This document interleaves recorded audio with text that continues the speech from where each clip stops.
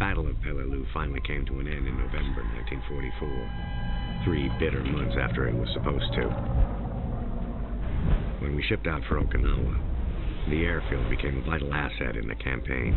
Among those stationed there are the crews of the U.S. Navy Black Cats, men who would risk everything before they would leave any of us in enemy.